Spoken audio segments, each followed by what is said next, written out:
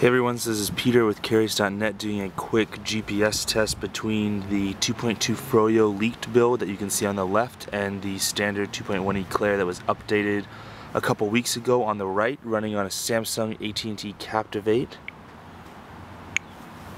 So let's just jump into it and see if there's any uh, differences in the GPS accuracy and tracking between the new Froyo leaked build and again the uh, Captivate Eclair update. Again, this is going to be kind of different on each device.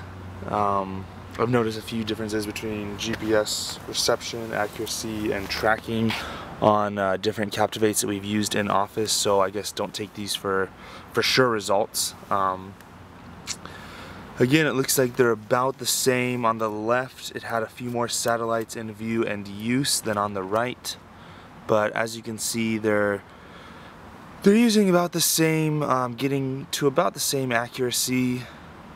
I'll let it run for a few more seconds just to give you a better idea. Again, we're outside. Um, there aren't any clouds in the sky. We're about, I would say, 60 to 100 feet away from the nearest building slash structure. And again, we're running the GPS test. You can find that in the Android market. So again about the same. Uh, look online to also look at our article excuse me on careace.net to see the differences in the tracking on the maps.